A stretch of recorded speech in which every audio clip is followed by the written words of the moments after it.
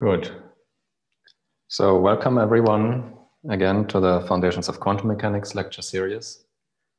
Before I start, I just want to point out again we do have a problem set, and you can just go to the website to see these three problems, uh, and you should still try them out because on Wednesday evening we will have a little tutorial session uh, to discuss these problems that will be at uh, 6 p.m. So uh, same time as today, only on Wednesday this week. Um, so the Google link will be put up on the website and the tutorial will be uh, delivered by Michael Zwerger, uh, one of my postdocs. Fine, so let's get started. We're just uh, discussing experimental implementations of uh, Bell tests. And uh, I want to start with a small recap of what we discussed at the end of last time. We pointed out that there are, of course, very important conditions that go into the proof of Bell for which correlations should be observable in an experiment uh, when it is described by local hidden variable theories. And one very important condition, of course, was locality. And what this means in practice is that you should not have no way of a light signal reaching the other detector in time for the measurement that is carried out there to reveal the detector setting at the present detector. So nothing should go from A to B in time to affect the measurement.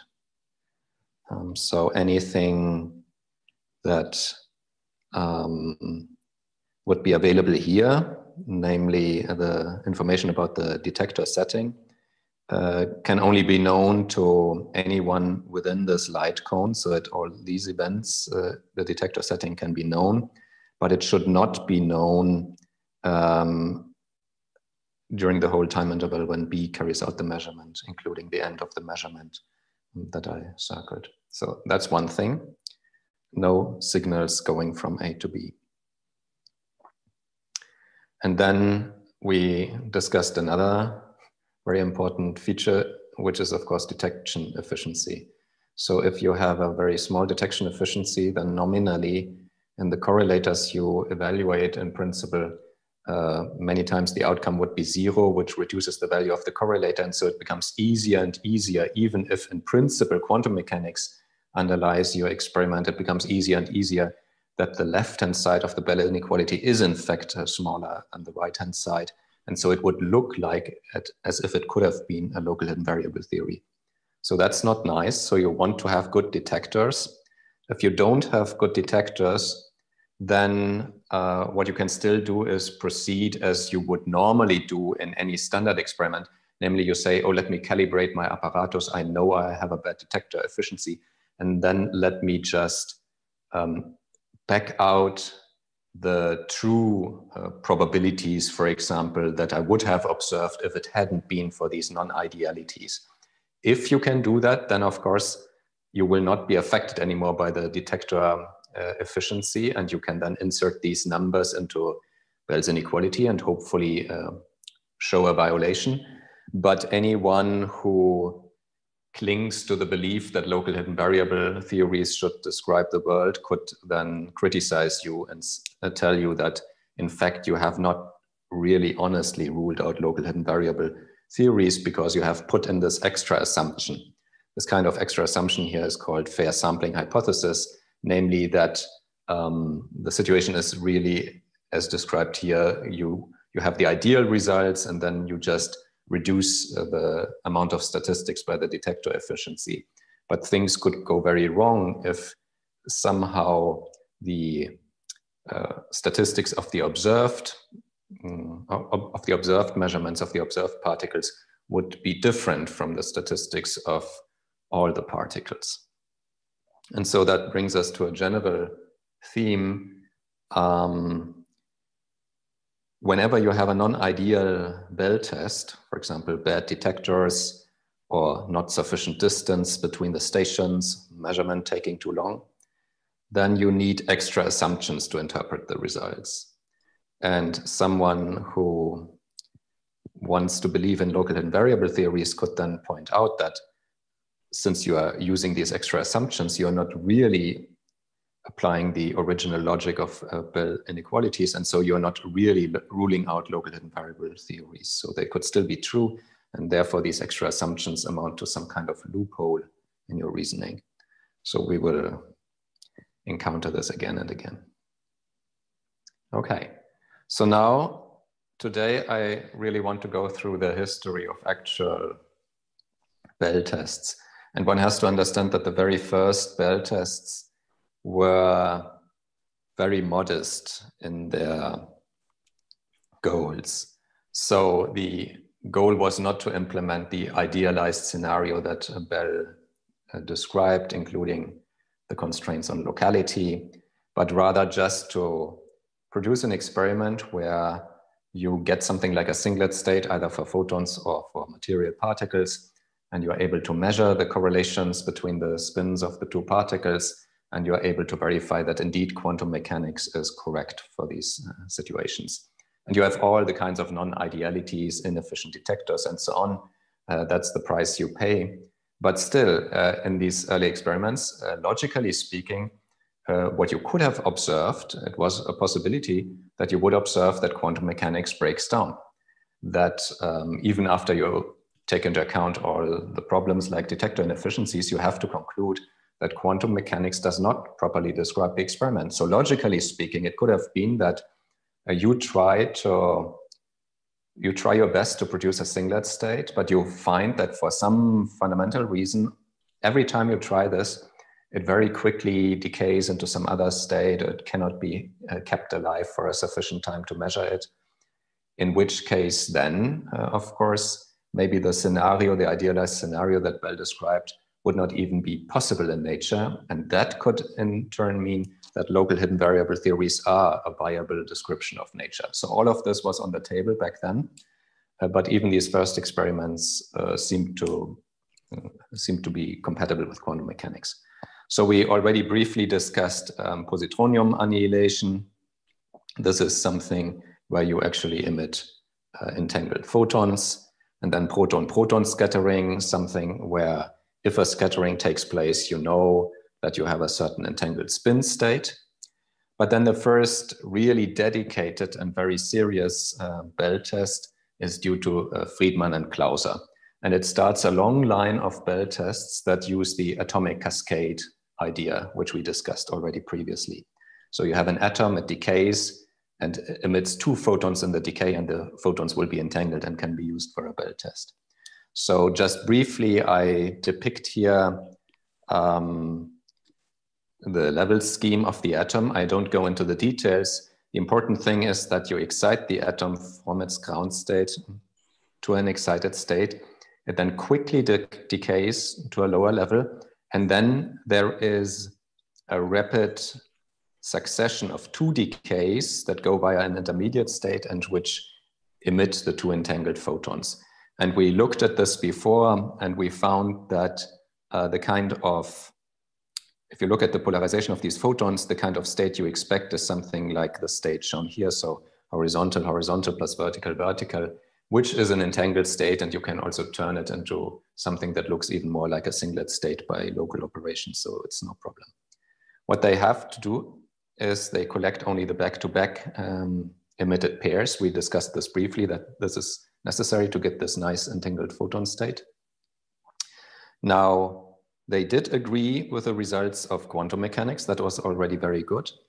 And they did violate a suitably modified Bell inequality, suitably modified in the sense that I explained that um, you are aware that, for example, your detectors are really uh, bad. So the detector efficiency, when you include also the fact that you only collect um, those photons really moving back to back, um, has been very tiny, 10 to the minus 3 in this experiment.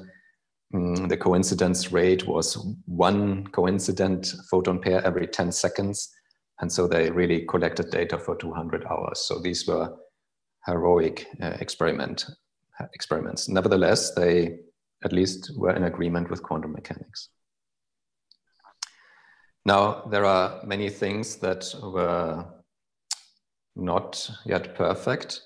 Among them, of course, uh, trying to impose this condition of locality to put them far enough apart and to measure them fast enough so that you can be certain that um, the setting from one detector did not have time to reach the other detector. And so that brings me to the next very important step in this historical evolution. And these are the experiments of Alan Aspect and collaborators in France in the beginning of the 1980s. Interestingly, that also uses an atomic cascade, so two photons emitted from a single atom. But in contrast to what came before, this was the first one to detect both polarization directions instead of just putting a polarizer in the beam path of the photons. And if it has the right polarization, it passes, but otherwise it's just discarded. So here you really detect both polarization directions.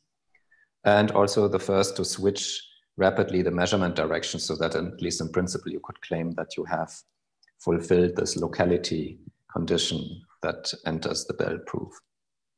So I'm showing the setup here. Uh, what I'm showing here is only half of the setup, say at the one of the detector stations. And so um, you see two things. You see how the rapid switching works and you see how uh, to detect both the polarization directions. For detecting both polarization directions, these are just polarizing beam splitters. We mentioned them briefly before. So say horizontal is um, transmitted and vertical is um, reflected. Either uh, both of them can be detected using photodetectors. Um, so how does the rapid switching of the setting work?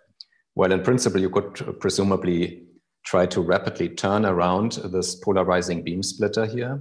So, so rapidly move this but in, in actual practice, this is impossible. You cannot move this fast enough.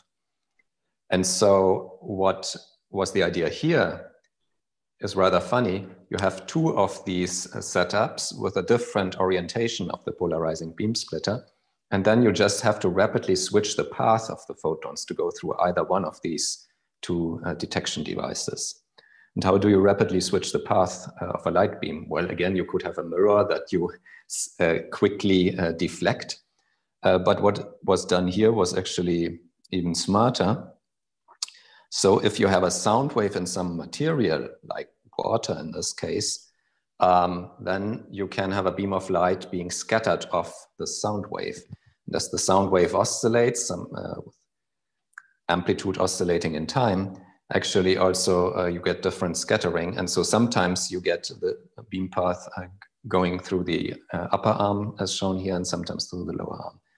So that was a really a rapid switching. And I'll say something about how rapid these things were and what were the time scales. But there's one drawback, so to speak, and that's important to mention here. Um, this was periodic switching, not truly speaking random. So sound wave oscillations are obviously periodic. Okay, we will come back to that in a moment. But first, uh, let's have a look at the locality. So whenever we talk about locality, we like to draw space-time diagrams, just like this one. And this is the one that is relevant for the Alain Aspect experiment. So you would have um, a distance L between the two measurement stations that if you convert it back into a time of flight of a light signal would be 40 nanoseconds. And 40 nanoseconds um, is larger than 10 nanoseconds, which is important because 10 nanoseconds is really the detection time window. So from setting, choosing the settings until uh, finishing the detection. And so what that means is, just as we discussed before, there's no way the detector B could learn about the setting of detector A in time to influence the measurement result at B, simply because the signal would arrive too late. So in principle, you have the first uh, experiment with true locality fulfilled with the slight caveat uh, that you don't have this desired random switching, but instead have periodic switching, which is of course a problem because you could come up with the idea, well, if it's periodic, then I can predict uh, ahead of time what will be the setting. And so uh, this idea that um, I, I, I do not know what the other detector setting will be is maybe flawed in this case. Okay. So So I pause here maybe if there is already a question about this rather famous experiment. So first time uh, true locality, first time detecting both polarizations. But everything from atomic cascade, so in that sense, uh, similar to Freedman and Clauser. Okay, so this was atomic cascade. I mentioned another way. Ah, okay. Um, so the if you have so the, the questions are okay what about this problem that i pointed out uh, that the switching is periodic. Well you see um, all this business about a light signal not being able to reach the other detector in time that makes sense because uh, this is something we discuss simply because we want to make sure that um, in Bell's inequalities, the outcome at say detector B should only depend at should only depend on the hidden variable lambda and the detector setting at B, but it should never ever depend on the detector setting at A. And this could, of course, be violated if a light signal would have time to travel from uh, A to B so that B could learn about the detector setting at A. Now, however, if you have periodic switching going on in both detectors, then in principle, I don't need to know what is the current detector setting at this given current time. I just need to know what was the detector setting um, some time ago, because after all, the settings change periodically. So I can, so to speak, extrapolate what will what would be the setting now, even if a light signal has not yet reached me. So that's at least the idea why periodic switching is not so good. Okay. And uh, here there was another question about the setup. Yeah, what happens here is really that the direction changes. So let's say in, in one time interval, photons will be scattered into the upper arm and then hit a polarizing beam splitter and be detected by either one of the detectors. And a little while later, uh, scattering takes you down to the lower arm where the polarizing beam splitter has been rotated into a different direction, and then you're detected there. So instead of rapidly rotating the polarizing beam splitter, you just rapidly send the photon once to the upper and once to the lower arm. That's the idea. Oh, the goal with rapid switching in ideally the goal with rapid switching is if it were also truly random, uh, that you can actually make sure that the um, time interval during which the detector setting is constant um, is really very small because if this time interval during which the detector setting is constant and the measurement is carried out becomes longer and longer, if these 10 nanoseconds become 100 nanoseconds and 1000 nanoseconds, then of course at a given distance between A and B, you, cannot make sure that uh, you don't reach detector B in time with your light signal. So it's very important that this time window, which is here 10 nanoseconds between uh, setting the uh, detector and measuring, that this is fairly short. And one simple way to do this is if you can really rapidly switch maybe every 10 nanoseconds or so between different uh, detector settings. Oh yeah, so there's another interesting question. The interaction with the water, uh, what about it? Uh, could it be viewed as another measurement? Well, that's actually a good question. Uh, if you set this up under the wrong circumstances, then indeed it could happen that a photon being scattered from water would actually launch a sound wave and leave behind a sound wave, a phonon. And in this case, of course, it would have left behind a trace, and that could be dangerous for the coherence of the quantum state.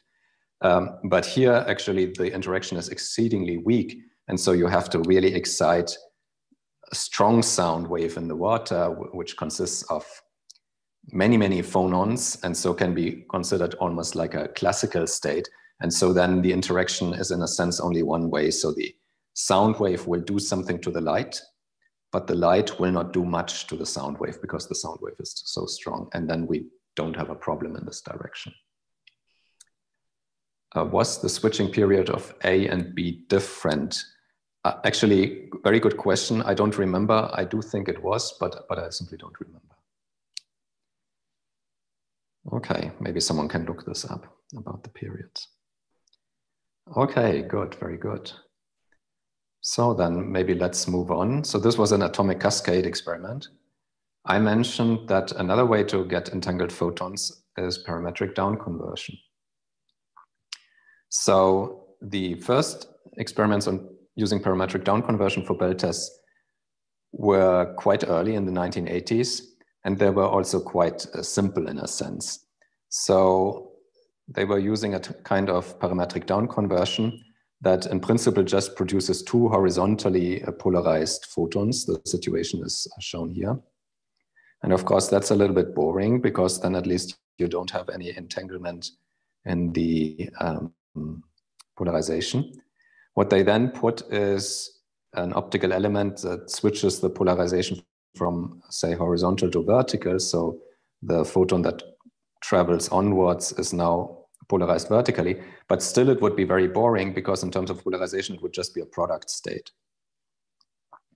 Now, the little trick they play is they send this product state through a beam splitter, which is a famous trick in quantum optics because then you can do a lot of interesting things.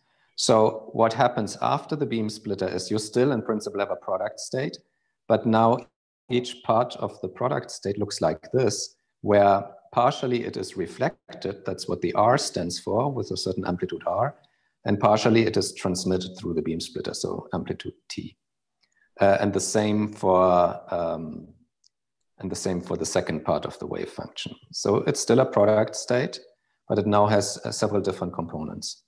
And so interestingly, among all of these components, you have also, if, you carry out the product, you get, of course, four terms. You, in particular, have terms where the two photons end up in different detectors, one and two, yeah? So for example, you have H1, V2, horizontal in one, vertical in two, and the other way around. And now you can do the following. You can uh, place detectors at one and two, and you only record the events where both detectors click. So one clicks and two clicks. So you know uh, you are accessing uh, this kind of state. So something like H1, V2 plus V1, H2. And if you only post select for these states, uh, then indeed uh, you're talking about an entangled state and you will find the statistics that you expect for this state. But it's a little bit cumbersome and you need this post selection. And also, of course, the efficiencies were bad and everything.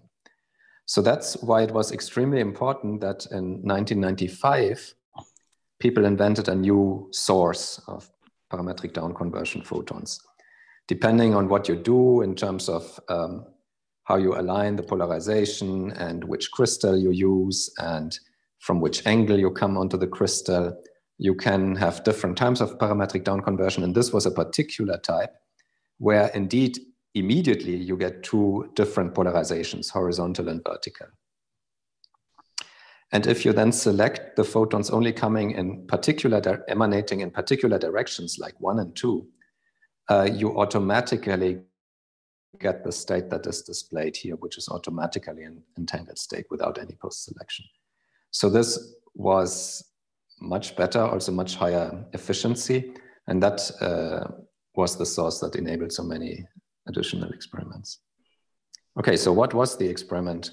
What is the probably earliest famous experiment that was enabled by this source?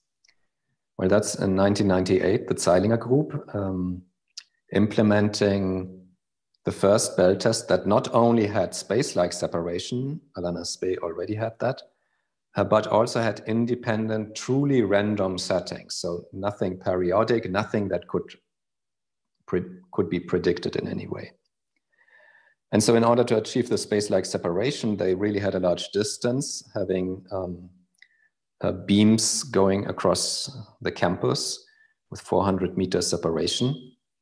If you convert that into a light um, travel time, it is 1.3 microseconds. And what was the random number generator? Well, that's also interesting. They took uh, not say one of those random number generators you, your computer has built in, but they took an actual physical random number generator. So they sent light onto a beam splitter, and sometimes uh, the photons pass. Uh, then they go through uh, in this detector, and you count this maybe as a zero. And sometimes the photon is reflected and you count this as a one. So if you have a 50-50 beam splitter, you expect zero and one with 50-50 probability. And for all we know, this is truly random.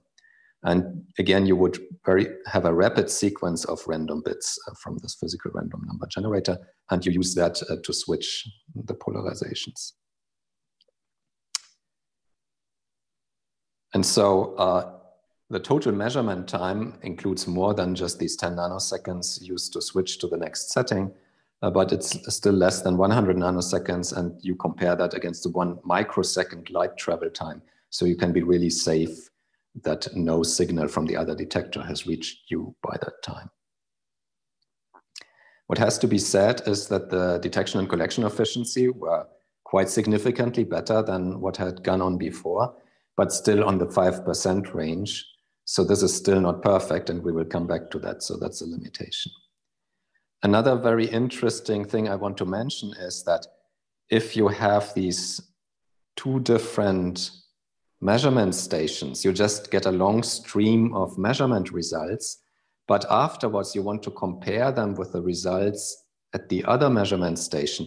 And so they really had to they really had to time tag the events. So they had independent atomic clocks at the two stations and would then give time tags and later find out, maybe calibrate what's the time delay. And then they would be able to identify, aha, this event here at station A, that must belong to the same corresponding event at station B. So that's uh, really important. Okay. Um, so someone makes the following remark uh, concerning the physical random number generator. Uh, the remark made here is that it's still a deterministic machine. Well, uh, it depends a little bit. We would we would think um, that somehow we would think that uh, such a physical process is truly random. Uh, we have no indications that it is not uh, truly random. Um, but of course, in principle, there exists this possibility, and we will discuss it at the end of today's lecture, uh, that somehow everything was predetermined, including what you think is this random random number generator and what it does. And in that case, uh, you run into a problem that you cannot really completely resolve. You can only make it less and less likely. So you can make um, you can use other sources of randomness. So it becomes an ever more fantastical story if you suppose that somehow the two uh, random settings at both sides are correlated because they had because they are somehow influenced by something that happened uh, to both of them in the past. So the what you mentioned cannot be maybe completely excluded, but it can be made to sound more and more crazy. But so to speak, on the lowest order level, uh, if we don't think in these terms of um, loopholes, then we would just say um, this is the best physical random process uh, we have for all we know.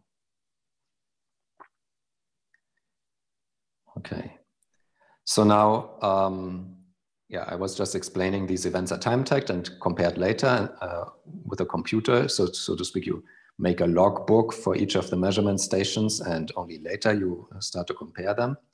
And when you do compare them, when they did this comparison, they found that uh, they are nicely reproducing what you would expect from quantum mechanics. So we know that in quantum mechanics, for example, if I insert into the CHSH uh, inequality, then I would get a 2 square root of 2, whereas uh, local hidden variable theories would be bounded by 2.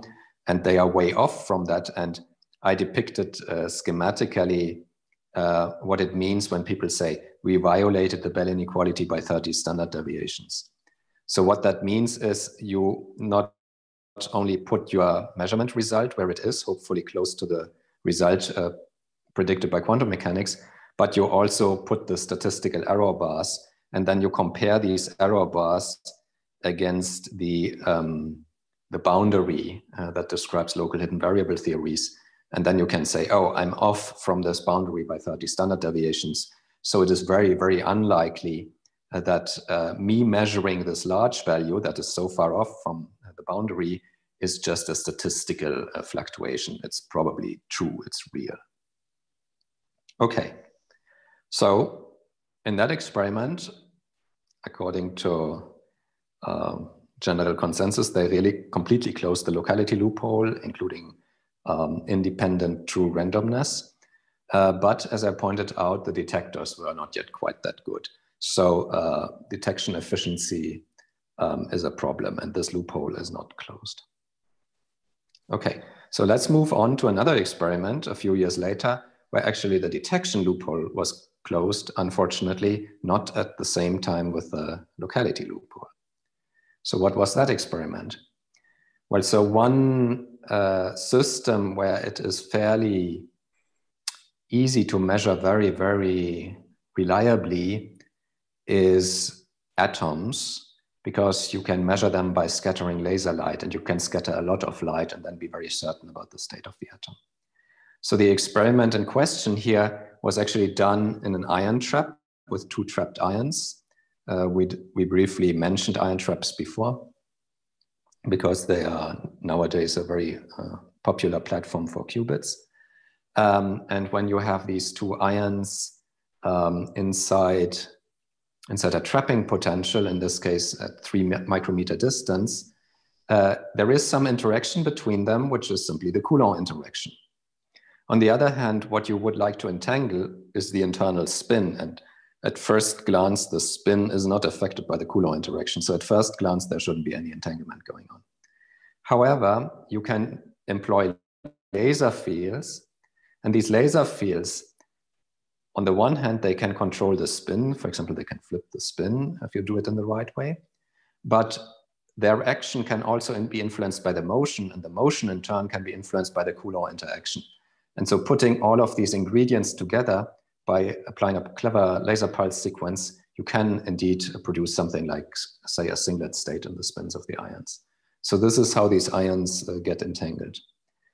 The more important part is maybe how are they measured, because this is where the advantage of the ions comes into play. So what they do is use so-called resonance fluorescence. So imagine this level scheme that I sketched here. Um, this level scheme is sketched here. And um, there would be two there would be two internal states, one that you identify with spin down and the other with spin up. These are the states that also then are used for the entanglement. Uh, and now it turns out that you can very, very reliably measure whether the ion is in the downspin state.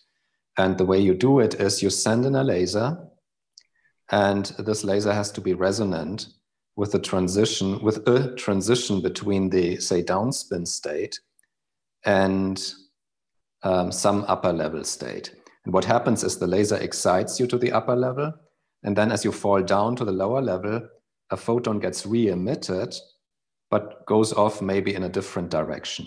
So you scatter these photons. You scatter many, many photons if you illuminate long enough with a laser.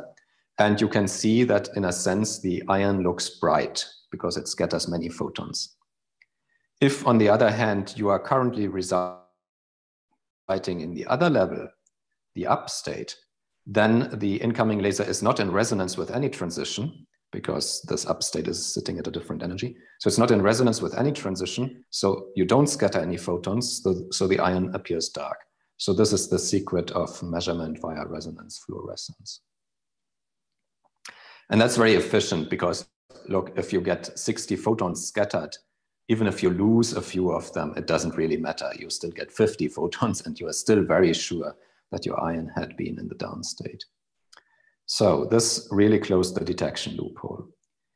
On the other hand, of course, you look at this distance, three micrometer, and you can already guess that the locality loophole is wide open because there's no way that you can make this measurement fast enough such that a light signal could not travel from one of the ions to the other ion to tell it what was uh, the detector setting in a way. So locality loophole still open. And now we are slowly moving forward in the story because the goal now is obvious. Yeah, you want to close the detection and the locality loophole at the same time. And again, to close the locality loophole, in some way or another, probably you want large distances, and the best way to transfer quantum information over large, large distances are optical photons. So photons will be involved.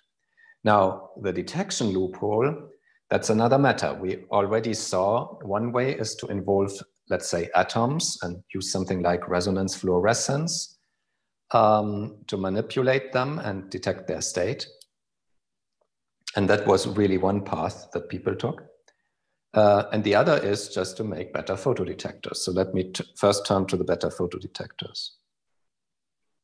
So it turns out that, well, photon detectors are extremely important uh, in many applications. So people were working hard on, on them.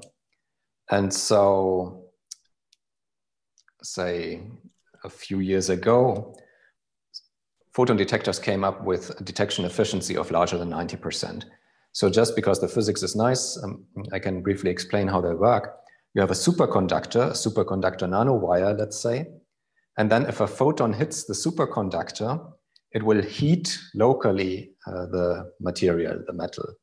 Because it's heated, it goes above the superconducting transition temperature. So suddenly it becomes a normal metal, which has an electrical resistance.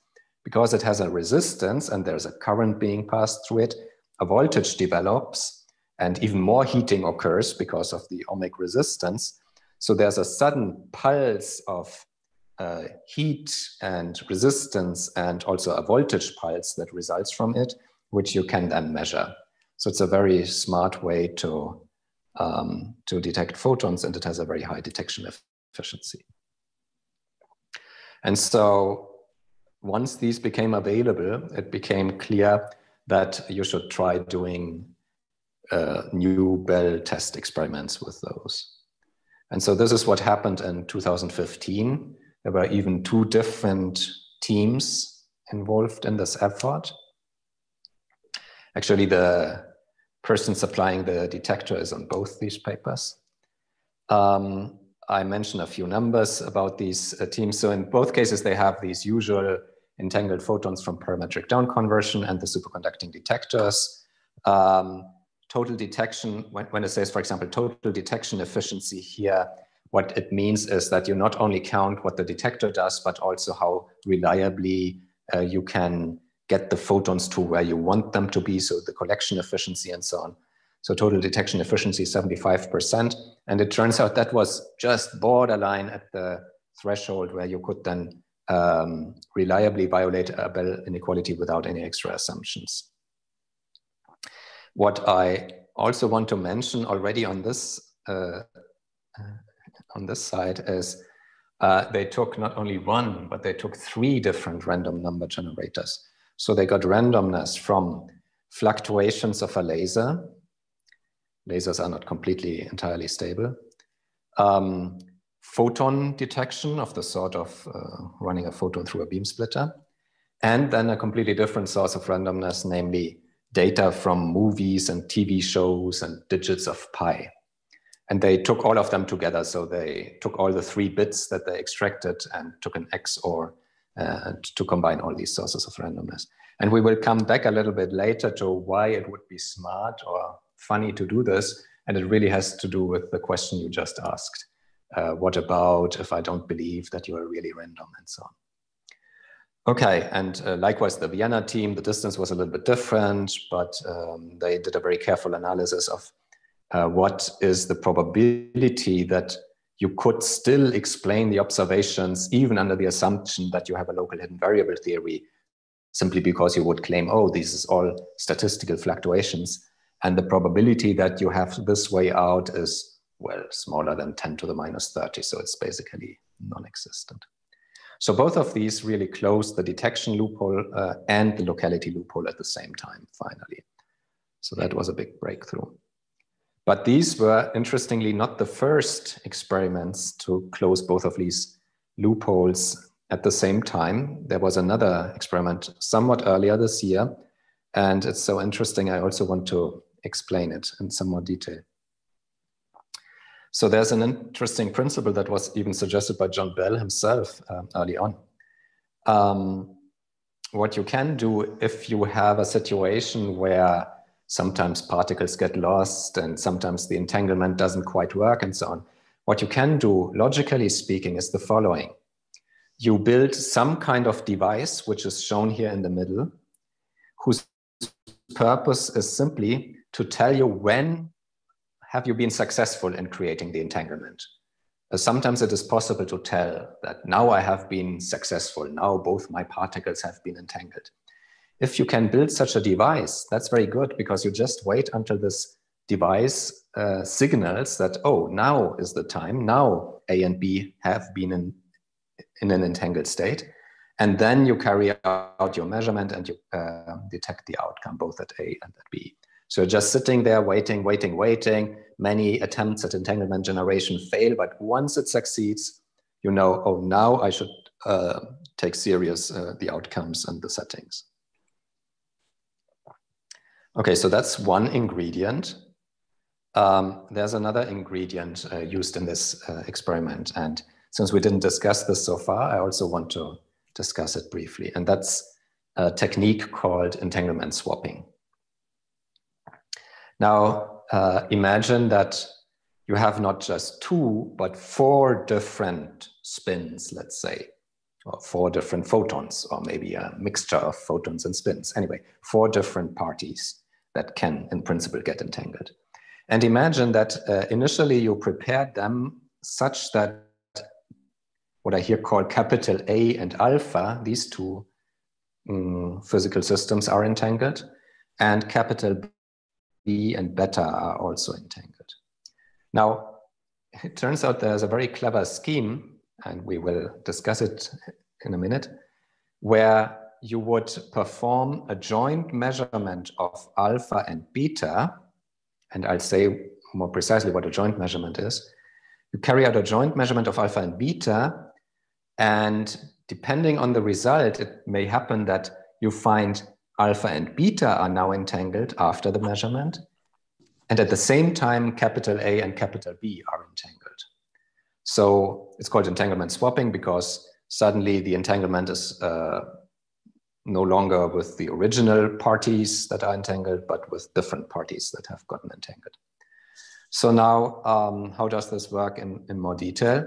Well, um, the initial state that I depict here is obviously one where capital A and alpha are entangled and capital B and beta are entangled, but there's nothing in between them. So it's a product state uh, of a state that only relates to A and alpha and another state that only relates to B and beta. How do these product states look like? Well, in the simplest case, assume you have a singlet state in each of these cases. So psi A alpha is our uh, famous singlet state. Now, what you want to do is a joint measurement. What is a joint measurement?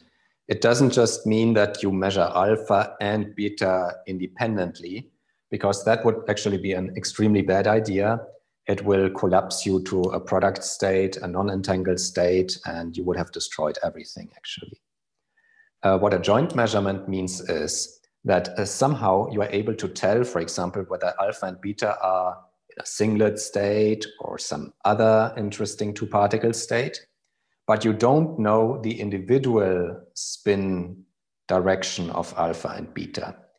And any such measurement uh, relies on having something like an interaction between these two particles, or at least bringing them together.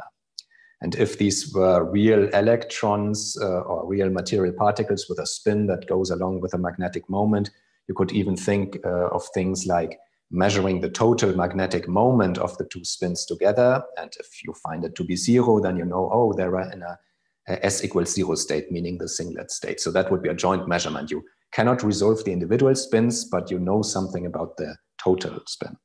Okay. Anyway, there are many different techniques for joint measurements, but it requires some work.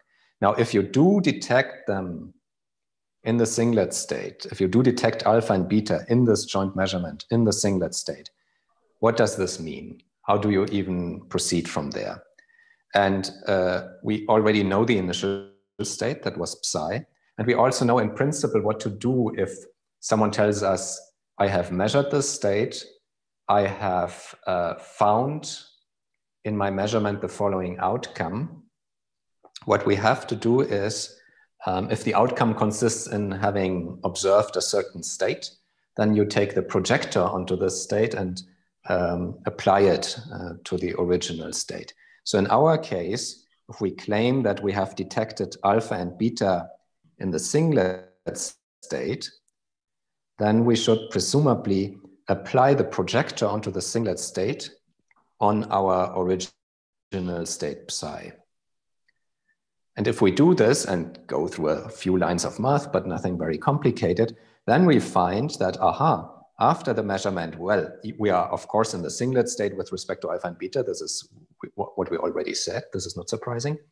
But if we collect all the terms that relate to A and B, all the rest of the terms, then we find this is also a singlet state.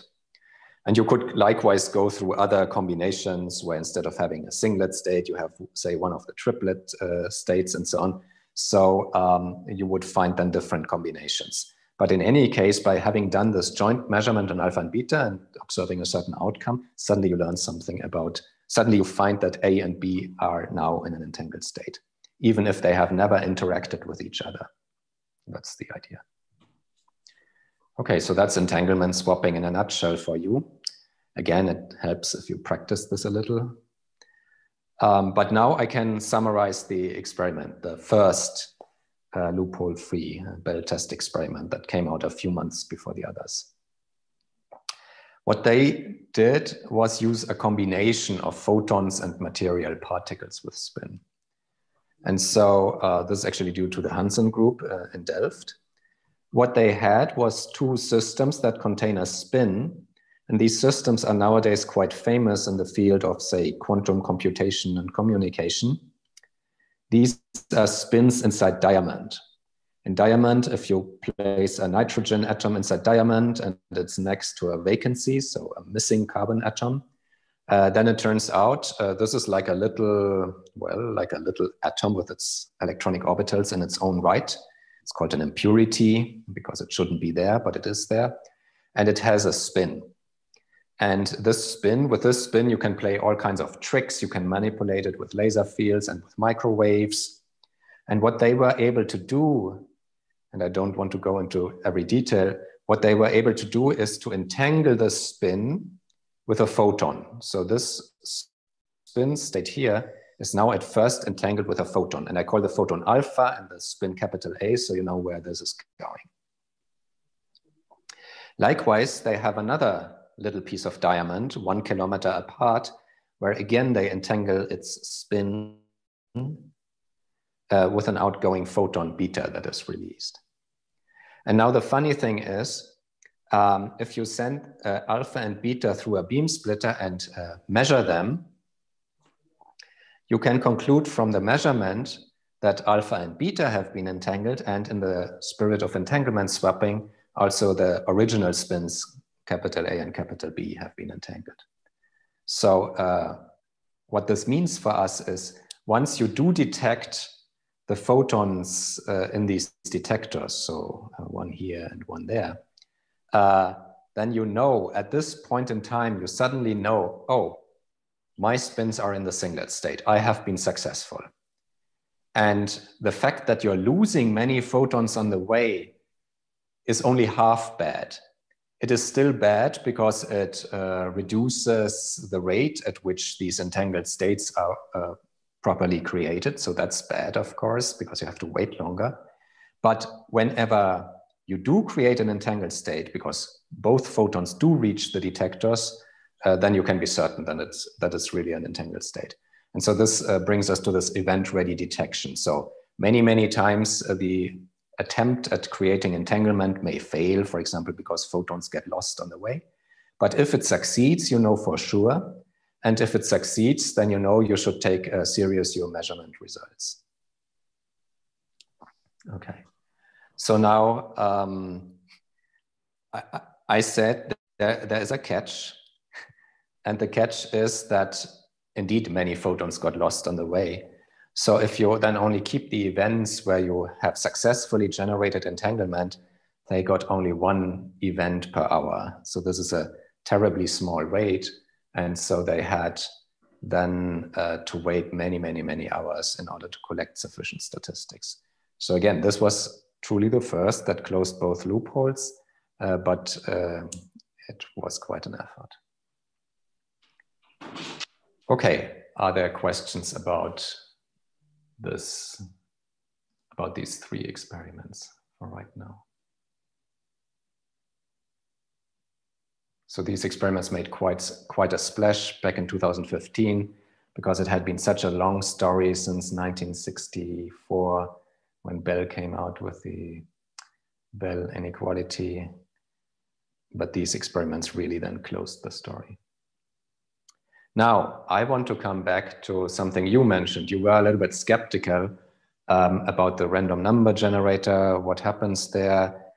And indeed, uh, people uh, share the skepticism because if you look back even at the original, um, okay, so there's another question. Maybe before I go to the freedom of choice loophole, uh, I should answer this question.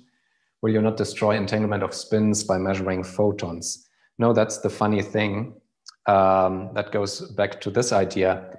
Um, if you did measure the photons alpha and beta individually, yes, you would project everything into a product state and completely destroy the entanglement. Uh, but here you are detecting the photons jointly in a joint state, that is actually an entangled photon state, and thereby you are creating also this entanglement between A and B. So, so it's extremely important that there is this joint measurement. So what um, really happens here, maybe I now say something about the details, is the uh, spin state is actually entangled with the with the time bin of the photon, whether it comes early or late. And then what happens is when you send these photons on the beam splitter, you may detect something like one detector detects an early photon, the other detector detects a late photon. So that's what you are looking for. But since they went through a beam splitter, you cannot tell which was which. Did the early photon come from A or from B? And did the late photon come from A or B? And then if you go through the math, you find that there are two possibilities that are consistent with this outcome, and they are coherently superimposed and they produce your entangled state. Okay, good. But now I come back to the to the big remaining question about uh, Bell uh, experiments. So to speak, you are, let's say you are someone who really likes local hidden variable theories and doesn't want to give up so easily. Then what you should be looking for is, of course, any reason why maybe Bell's idealized assumptions are still not quite fulfilled in the experiments. And when you go carefully through uh, the derivation of Bell's inequality, even Bell himself mentions it's important that the settings are truly independent and random. They are arbitrary. They are they can be changed by the experimenter. There's nothing that predetermines them because that would be catastrophic. And so now, if you really like hidden variable, local hidden variable theories, you could conjecture that, well, maybe these settings are not truly random. Maybe they are not independent of the uh, uh, local hidden variable. Maybe they have been predetermined sometime in the past, and it just looks to me as if I have a random number generator, but everything was already decided a long time ago. And so, so to speak, both detectors and the source that emits my particles, they have all been influenced uh, by uh, the same things long in the past, then of course anything could be possible again. So um, let's go through this one by one. I should say in advance, you cannot, you cannot completely rule out this kind of thinking, but you can make it appear less and less appealing, more and more strange, so to speak. Now let's first uh, discuss the more straightforward things. So one thing that is certainly true is uh, in all of these experiments, you have somehow the source that emits the pair of photons or something. And you would think that, aha, so if I conjecture that somehow together with this pair of particles, my magical uh, hidden variable is emitted, some magical field that I don't even have access to, and that is hidden, as the name says, but still something is going on, something extra. Then couldn't it be that this hidden field in the background also magically influences my detector settings. So I think they are random, but in reality, they are being influenced by lambda as well. And this would be a situation that is not covered by the logic of Bell's inequalities when the detector settings actually start to depend on lambda. So what people did in some of the modern experiments is they made sure that um, if you assume you know relatively well the moment of pair emission, and you assume that it is then that lambda comes into existence and can only travel with the speed of light because it's a local hidden variable, uh, then you make sure that the little time interval during which you choose your random setting um, is space-like separated from the moment of pair emission. In other words, it cannot be influenced yet uh, by the local hidden variable lambda that may be created together with the pair. So this uh, random setting is independent of that. So this is the simplest thing to take care of by proper, by making sure that uh, everything is aligned properly in time.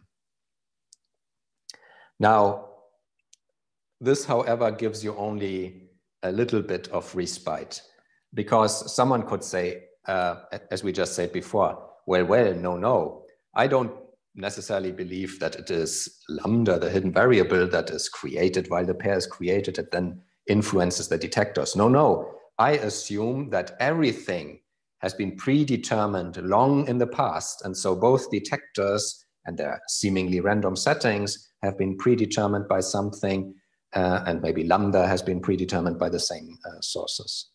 So um, whenever you talk about this what influences what in, uh, in physics and the notion of locality. Again, we have to draw space-time uh, diagrams. And so I show one here. Uh, this is the emission event in the middle. These are um, the little time intervals where you choose your seemingly random setting. And now uh, these random settings, like you throw a coin, for example, if you like, uh, they can, in principle, of course, have been influenced by everything in their so-called past light cone. So anything that can have reached them with the speed of light or slower speed. And so I've drawn these past light cones for you. So there's one past light cone for this detector setting, one past light cone for the other detector setting. Then if you like, also one past light cone uh, for the emission of the source. And in, in particular, in this area, you have events in the past that could, in principle, have influenced both the detector settings. And this is an argument that is on its face impossible to beat, but you can make it sound more and more ridiculous because somehow you, if you are really trying to save local hidden variable theories, you would then have to come up with plausible physical mechanisms by which some funny um, events uh, that happened back here really truly influence um, both your detector settings. And people have gone to great lengths to make this appear more and more ridiculous. And so the way to do this is to obtain randomness from unconventional sources, not your little um, random number generator in the computer or this physical uh, random number generator. Um, that is maybe a local device uh, and who knows how it works. But they have produced randomness by feeding in bits from movies or, or uh, bits generated by people playing computer games. And then you would have to come up with something that sounds like a conspiracy theory that somehow these random bits from these, so to speak, cultural events like movies uh, would somehow conspire in such a way uh, so as to give you the right statistics. It's, it's very, it gets very, very weird if you go down this way. Um, another, another thing you can do is, and it's, it's particularly weird because these movies, of course, have been produced some time ago. So somehow everything is connected to the past. And you can make it even more weird by pushing, by pushing these points in time when the random signal was generated back and back in time. So with movies, maybe they were uh, 10 years back in time. And uh, what people found is that if they take these random events to be the emission of photons from far away stars or galaxies or other sources, then you can push them back in time even further. And so this is a recent experiment where they took light from distant uh, quasars actually to determine the settings. So I want to go through this a little bit. Here in the middle, you have your standard, you have your standard setup, right? So uh, this is your standard um, Bell test setup. But now instead of doing the random number generation somehow locally at each of these um, measurement stations, what you do is you detect the light that has reached you from a distant quasar and you detect, for example, its frequency and whether it's a little bit larger or smaller than some uh, threshold. And depending on that, you choose the polarizer uh, orientation. And you do it in such a way that the light uh, that has reached you from this quasar source at A cannot yet have reached B because of the ways uh, they are arranged and the uh, light travel times. So it seems you have really completely independent random sources from different pieces of the universe.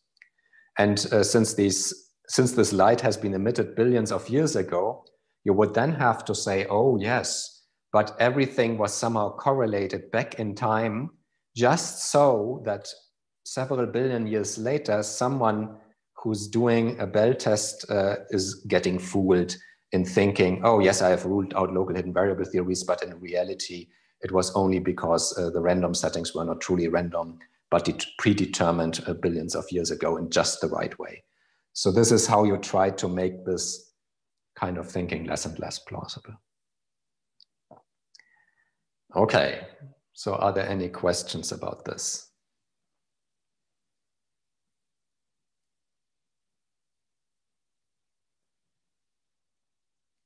Okay. Well, if I don't see any question right now, I would like to go on. So I've taken you through all of this history of, uh, so it seems that the problem is closed. Well, I think there will probably still be um, experiments ongoing, but then they will probably look into, into different aspects. For example, applications of this. Um, if you have devices that uh, can produce these entangled pairs that uh, produce uh, violations of Bell inequalities, uh, then the violation of the Bell inequality somehow tells you that the entanglement is very strong, otherwise it wouldn't be violated. And so it can be used actually in areas like uh, quantum cryptography to make things device independent. You don't even need to know exactly how the entangled state is produced. Um, you just look at the results of Bell tests. You can be very sure that you have a very good entangled state. This is one of the possible applications. And people look into uh, not only two parties, but multiple parties, and we will come, come to that in a moment. But essentially, from the point of view of local hidden variable theories, unless someone finds a catch or a flaw in one of the arguments, then I would think, yes, uh, the issue is closed. Uh, if, I mean, I have to confess that I found local hidden variable uh, theories uh, very attractive um, when I first looked into them. And uh, when I first looked into them, of course, um, both the detection, uh, at least the detection loophole was still open and the locality loophole had just been closed. Um, so to some degrees, uh, some part of me liked to see that these loopholes would be somehow fundamental and it would turn out that local hidden variable theories are after all feasible. But I think uh, at least I have lost all hope that this is so. Yeah. Even though local hidden variable theories coming from a normal physics background sound very plausible and appealing, just locality and that things exist before, uh, even before you measure them uh, that doesn't seem to work. Okay, good, very good.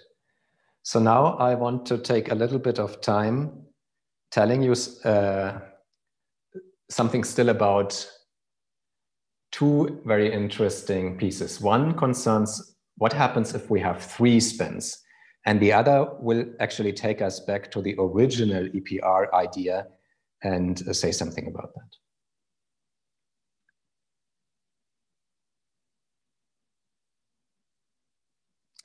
Okay. So um, let's call this some further remarks. So this is con concluding the chapter on uh, Bell inequalities. Um, and the first thing I want to mention is so-called Greenberger-Horne-Zeilinger states. These are the ones with three particles.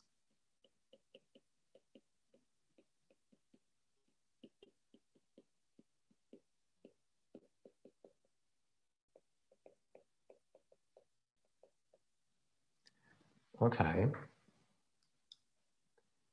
So now uh, the state we are looking at is rather simple.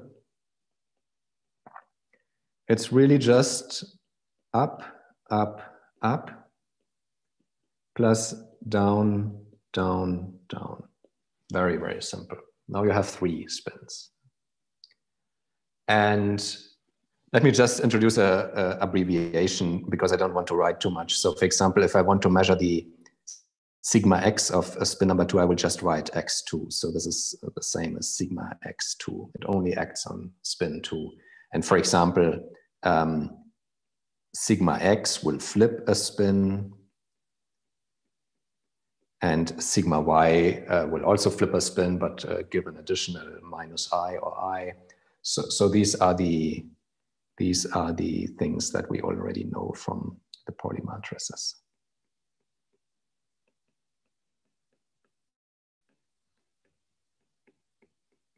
Okay, good, fine. And um, now let's try to apply the following string of operators. Let me apply x1 times x2 times x3 onto the psi state. Now you know what happens x1 flips spin number one, taking up into down, for example. x2 flips spin number two, and x3 flips spin number three.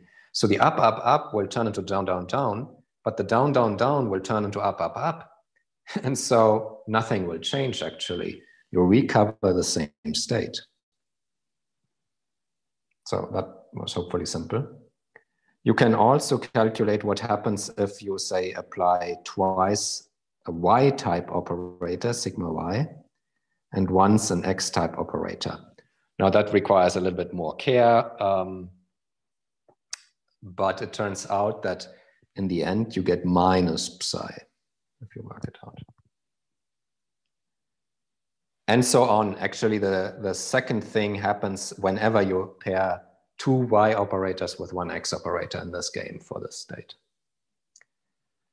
Um, now, let me let me uh, choose notation where I would say, um, now I start to measure these operators. So I measure x1 and I will call x1 the measurement result. So this is without the head, without the operator. This is just the measurement uh, result when I measure the operator. So I measure the spin in the x direction, spin number one in the x direction. Um, and so if I make a little table, oh, maybe I should start this table on the next uh, slide because I need some more space. So I now want to make a little table. What are the measurement outcomes uh, for the different possible combinations that I could take?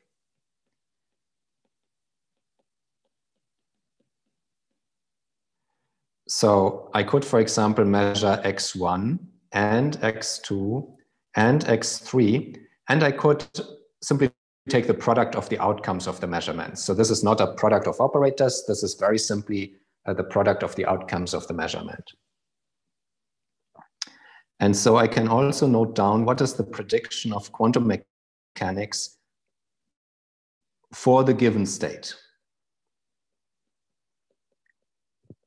And now we just said that um, x1, x2, x3, if I apply all of them to the state psi, I recover state psi. So it's an eigenstate with eigenvalue plus one. So also if I really carry out all the measurements and take the product uh, of the outcomes, I should recover plus one.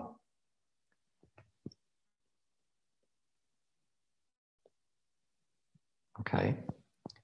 So I could, in principle, try a collective measurement, like really x1, x2, x3. But since all of them commute with each other, I can also really, and, and maybe I don't care whether the state gets destroyed, I can really individually measure x1, x2, x3, and uh, look at the outcome. And quantum mechanics predicts if you take the product of these outcomes, you always get plus one. Now, what happens if I measure y1 and y2 and x3 and again take the product of these outcomes? Well, uh, this little calculation that we did before tells me that I expect minus one. And you can also go through the calculation in more detail, say projecting one by one on, onto these outcomes and summing up everything. But either way you do it, you'll find minus one for this product, for this state. And then you go through all the combinations. So instead of doing x3, you do x2 or x1 and always fill up with y measurements. Okay, and according to the same algebra as before, you always find minus one. Okay, so that's our little table. Now, there's something very funny about this table, which may not be apparent at first sight, but it's a little bit funny in the same way that things were funny back uh, when we discussed the uh, Mermin version of the Bell's inequalities. Because let me assume now that I'm trying to describe this kind of experiment with a local hidden variable theory.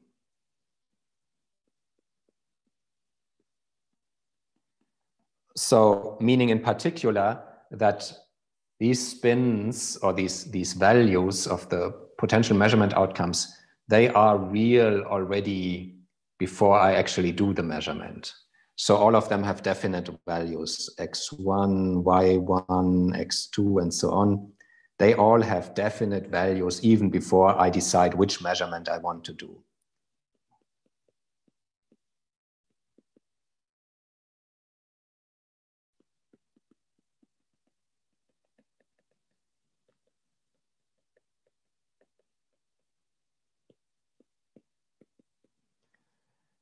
And so now you can do the following. Uh, I gave you this little table uh, with the measurement combinations on the left-hand side. And what I want to do is take the product of all these four results. Now, if I take the product of these four results, so I have to multiply x1, x2, x3 with y1, y2, x3, uh, and then still two further um, brackets. It's not very difficult algebra to confirm that, say, x1 appears twice in this whole product. y1 also appears twice. So I get x1 squared, y1 squared, x2 squared, and so on. But then again, each of these measurement outcomes, in the ideal case at least, is either plus one or minus one. And if you square them, well, you get plus one, of course. So also the whole product will be plus one. So that's what a local hidden variable theory would predict. Uh, if, if I measure um, at spins one, two, or three, either x or y, um, and I consider all these combinations, um, and I take the product of all of these outcomes of all of these products, then I should always get one. Now compare against quantum mechanics mechanics. Quantum mechanics predicts that the product of these results is what? Well, we just have to look in our little table on the right-hand side. We know that quantum mechanics predicts plus one for measuring the first product, minus one for the second one, minus one for the third, and minus one for the fourth. The product of all of these, oh, the product is minus one. So there couldn't be a bigger contradiction between quantum mechanics and local hidden variable models than this. So you have a situation where you don't even talk about statistics, at least at this point. You don't talk about statistics. You know that whenever you do uh, the measurements of say x1, x2, x3, and then take the product, the product is always plus one in quantum mechanics. That would be the outcome of the experiment. If you do the second line, the product would always be minus one. And then you take the product of all these results and you get completely different answers for local hidden variables in quantum mechanics. So it's even worse in a sense than the standard two particle Bell inequality where you still had to look at these non-perfect correlations for different measurement angles, um, here, it's even true if you only consider these cases where you have perfect uh, outcomes, perfect correlations. So there's a contradiction between quantum mechanics and local hidden variable theories here, even at the level of these uh, perfect definite results. Now, one thing needs to be said. You shouldn't think that you can completely get rid of statistics because if quantum mechanics predicts that you should always get plus one, in order to confirm that you are close to this quantum mechanical prediction, of course, you need to do many experimental runs. You cannot just make one run, get plus one, and say, see, see, I got quantum mechanics. So you need to have many, many runs, and then maybe you see plus one in 99.999% of the cases. And so in that sense, you will still need many runs and still need to do a little bit of statistics still there's this distinction that you don't even need to go to the cases where the correlations um, are not perfect, um, um, as in the usual Bell's inequalities. Here you can uh, only consider the cases where the correlations are perfect. Okay, um, yeah, that's GHZ uh, for you. So these states are colloquially uh, referred to as GHZ states. Um, and they have many other interesting properties. Uh, but that was quite a surprise back then. And by now, of course, experiments have been done using this. Okay, if there's no question here, then I want to finish the lecture today by going back to where we started actually. So where we started was EPR, remember? So I want to come back to um, the original EPR experiment.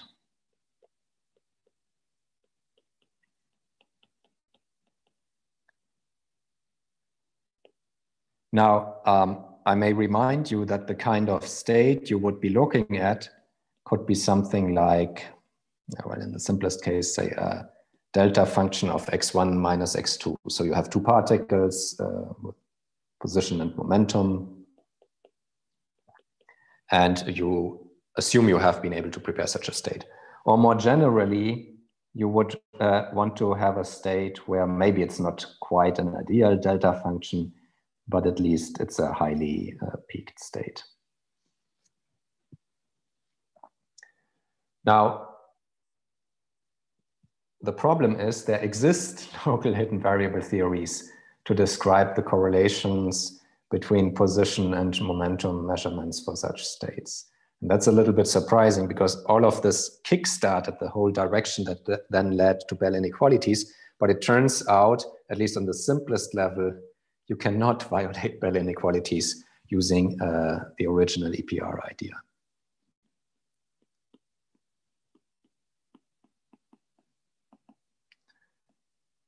So that sign means there exist local hidden variable um, models that uh, describe correctly for such states um, the X and P measurements and correlations.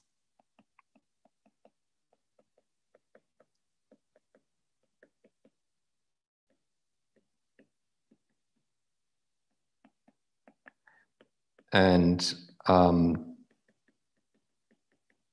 the the the overall formal reason is that there actually exists a good probability density of both x and p, a joint probability density of x and p, uh, which is a completely valid probability density, positive and so on, um, which is not normal in quantum mechanics. Normally, you cannot assign this because otherwise, quantum mechanics would be very much like classical physics. Normally, you cannot take talk both of x and p simultaneously and assign a joint probability density.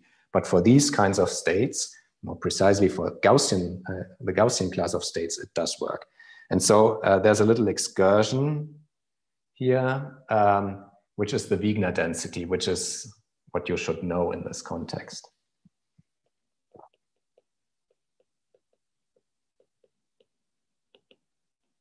So maybe some of you might have taken a quantum optics class, then you will certainly have come across this.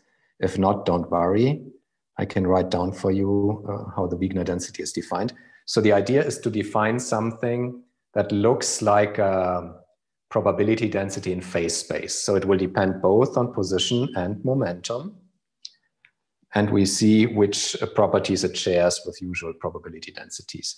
But how do you get it? Well, you start from a wave function, from a quantum state. And then you do something funny. You take something like psi star psi, but instead of taking it at the same position, you take it at two different positions. And then you do a Fourier transform, but only in the relative coordinates, so the y here.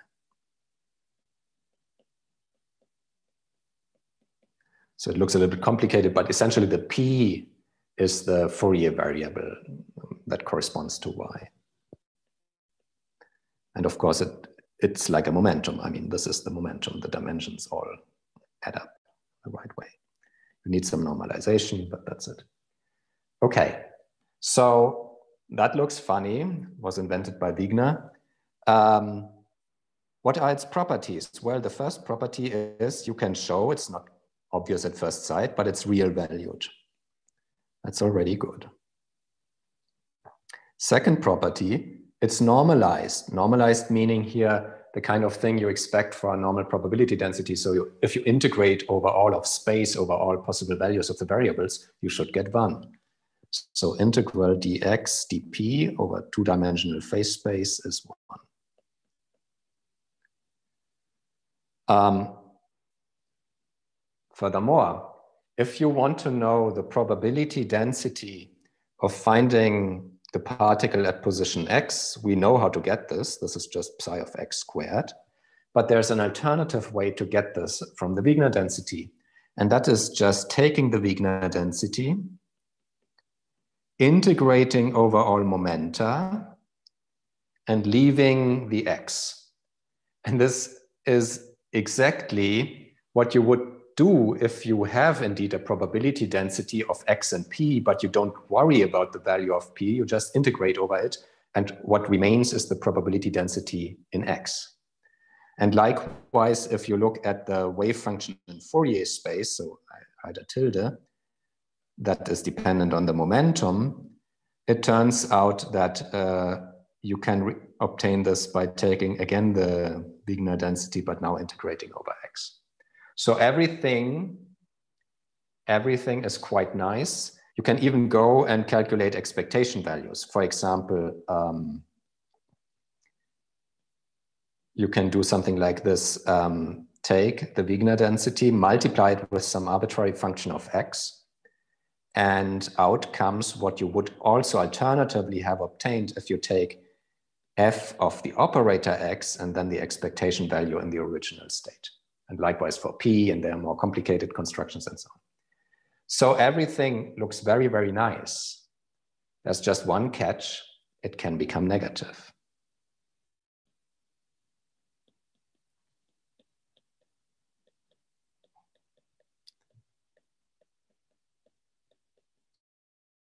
So that's the downside. If that were not the case, then probably no one would be working with the uh, wave function, but everyone would always be working with the Wigner density um, and treating it just like we treat probabilities, densities, and phase space in classical statistical physics. Now, one can draw the Wigner density for different interesting states. If you have, for example, the ground state of a harmonic oscillator, which is a Gaussian wave function, and you draw the Wigner density, it turns out that um, this is this is just a Gaussian in two dimensions. Yeah, so I try to draw a Gaussian two dimensions. So that's very easy. Um, if on the other hand, I have something like not the ground state of a harmonic oscillator, but say the first excited state of the harmonic oscillator, again, the wave function, of course, we know how it looks like, But the Wigner density has a very interesting appearance, um, which I hope I can um, somehow indicate. There's something um, which has a kind of it's like a little bit like a volcano that has a drop um, around the origin and it drops uh, actually to negative values.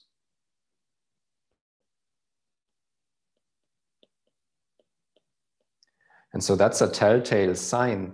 Um, so this is the first Fock state. So this is the ground state of the harmonic oscillator. And this is the first uh, excited state of the harmonic oscillator. Um, that's a sign that you cannot play this game of saying, oh yeah, I know the statistics of X and P are just like in a classical phase space uh, probability density. They are not because it becomes negative. And now, um, now we can come back to our story with the EPR. The problem is that the kind of state that is produced here is can be seen as a Gaussian state. And the Gaussian state has a non-negative Wigner density. So everything looks very familiar.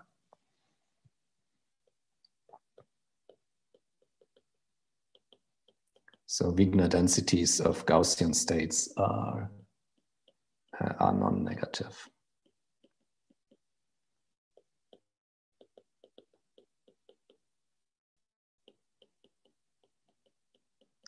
And so the correlations that you could measure in the EPR experiment, like if I measure X1, I know that uh, X2 is equal to that value. If I measure P1, I know that P2 is minus that value. These kinds of correlations can be then very, very easily understood um, by saying, yeah, of course, all of these correlations were already there in the Wigner density. In this case, you would talk about a Wigner density that depends on um, position and momentum of the first particle and of the second particle, but everything would look like a classical statistical problem.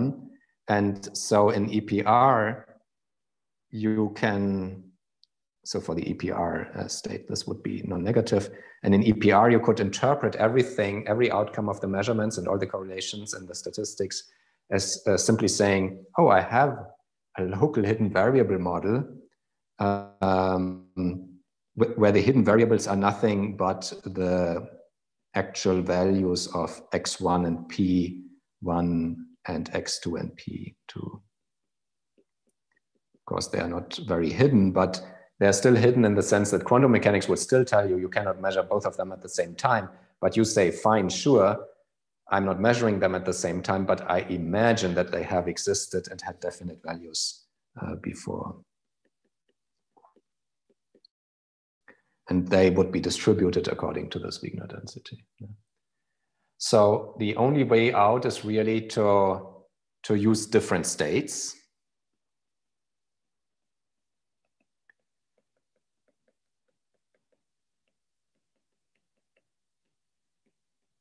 or to use different uh, kinds of measurements. Of course, if you then say, "Oh no, I'm I'm measuring actually a uh, photons photon number, Fock uh, number, or something like this," then again things can change. But as long as you only measure x and p, and you uh, retain the state with positive Wigner density, you cannot violate Bell's inequalities. Okay.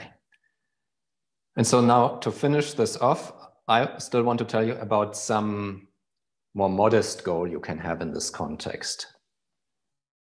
And that would be to show not that you violate Bell inequalities, but at least confirm that the state is entangled.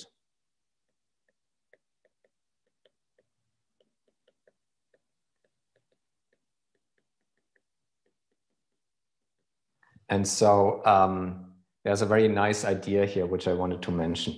So for EB, EPR, for the ideal EPR, we know that x1 equals x2 always. So if I take the difference squared and average, it's just zero. They're always equal. And likewise, P1 and P2, well, they are not equal, but anti-equal. One has the opposite sign than the other. And so again, if I take the sum and then square, I always get zero in the ideal case. Um, Whereas if I have an uncorrelated state, say a product state, things are very different. If I calculate the same thing, I will just get something like x1 squared plus x2 squared, which is not at all zero. And likewise with P1 and P2, um, I will not get zero. And so the idea that people invented was to say, aha, I should just look at these correlators, so x1 minus x2 squared, this variance, and p1 plus p2 squared. If they're zero or close to zero, then it's probably going to be an entangled state. If they are very different from zero, then, well, maybe then I can't conclude anything. And so uh, this is what um, led to a famous sufficient criterion for entanglement, which is due to Duan et al. in 2000.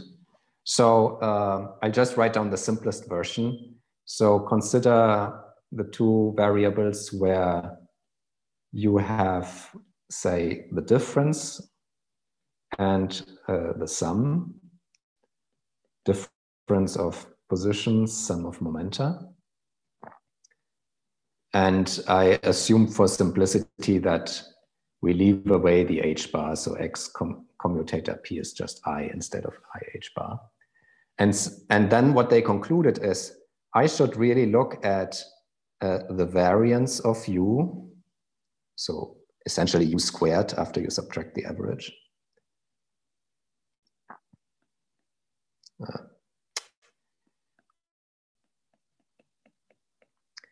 And I should also look at the variance of V.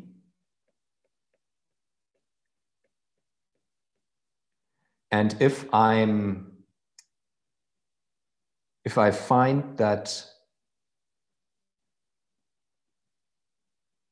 this is large, then I cannot say anything. But if this inequality is violated, so the left-hand side is rather small, then it goes into the direction of EPR, we know, because then the left-hand side would be zero. Uh, then one can conclude, this is what they showed, uh, the state, the underlying state is entangled. For example, it might be an EPR state. So if the sum of the uh, variances that we just looked at is small enough, not maybe not so surprisingly, you go in the direction of EPR and you can at some point conclude that the state is entangled.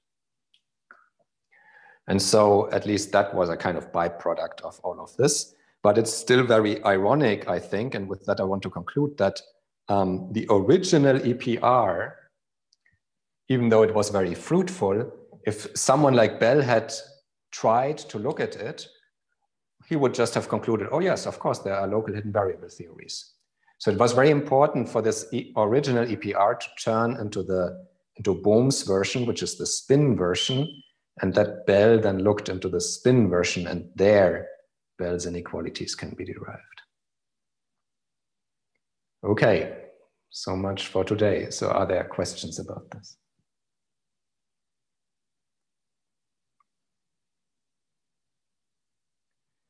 Well, again, I want to remind everyone there are three very nice problems on the website, and uh, Wednesday at six o'clock we have a little tutorial explaining the solution to these problems.